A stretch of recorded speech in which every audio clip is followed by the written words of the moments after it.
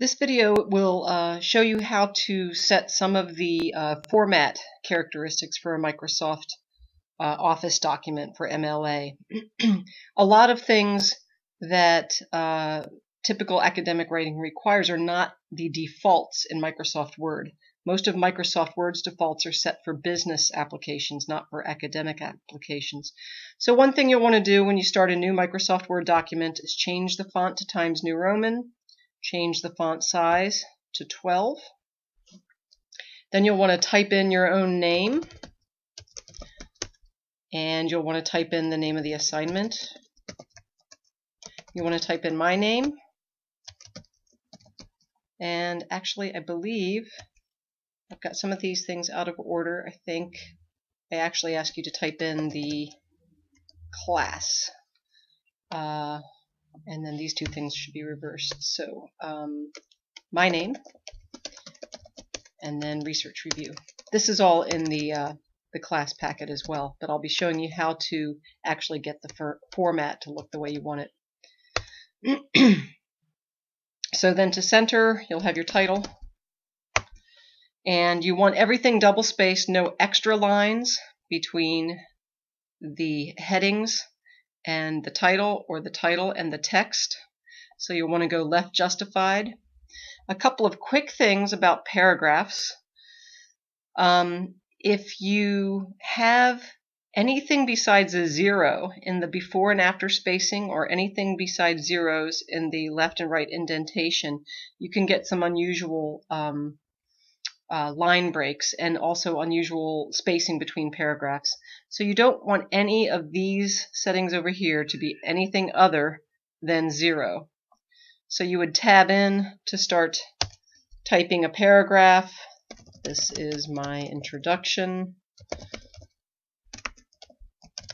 And then you'd hit enter and do the same and you could have another paragraph. If you have uh, auto here, or six point here. I think six point is the default. Or here. You will get extra lines between paragraphs. And there's no way to delete those extra lines. You can see that in the preview down here. There's no way to delete those extra lines because you cannot move the, the um, cursor to that space. So again, zeros here, double here, and then you should be in good shape. When you are uh, done writing your paper, and you're working on your works cited, rather than just hitting enter a million times to create a new page break, which I know a lot of students do, I recommend instead hitting insert, page break, and then you've got a new page. Um, you can also make sure that the break is uh, starts a new um, paragraph format. So what I would do here is I would write works cited and I would center that back up here and hit home center, and then I would go left aligned. A lot of students choose this right here to do a hanging indent, but that's not actually a hanging indent paragraph. That's a right aligned paragraph. To get a hanging indent paragraph, you hit left aligned, and then you choose this little, again, let me show you, because it's hard to see, this tiny little arrow right here. Click that, and then where it says special, choose hanging, it automatically defaults to half inch and you will automatically have a paragraph. I'm just going to hit X's here so you can see it. That is um, hanging indent and we'll do that for every paragraph on this page which is just saves you a ton of time and then you're not uh, moving things around um, trying to use the sliders. If you if you view the ruler you can sometimes fix some of these things click there, view ruler. But even then, you're doing each one individually. And it's just much easier when you get to the works cited page to hit insert, page break, and then uh, format the paragraphs this way. By the way, I always recommend that you include the works cited page in the same Microsoft Word document. A lot of students seem to start a new Microsoft Word file, but then that means you have to upload two different files uh, to turn them in.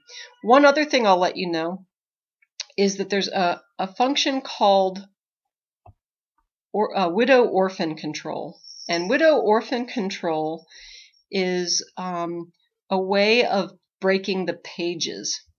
So a widow is a first line of one paragraph where the rest of the lines from that paragraph are on the subsequent page. And an orphan is the last line of the previous paragraph where there's only one line at the beginning of a page.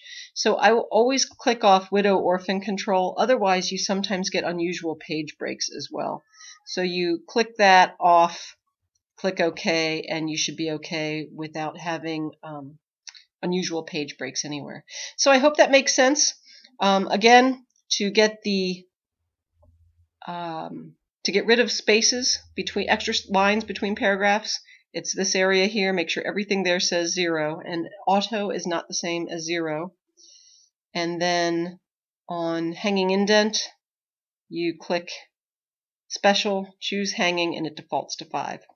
I hope this helps you guys out as you put the finishing touches on your papers. And I'll be checking email periodically between now and uh, tomorrow evening. I probably will be offline much of tomorrow midday while I watch the Ducks football game. All right, have fun writing it and let me know if you need any help.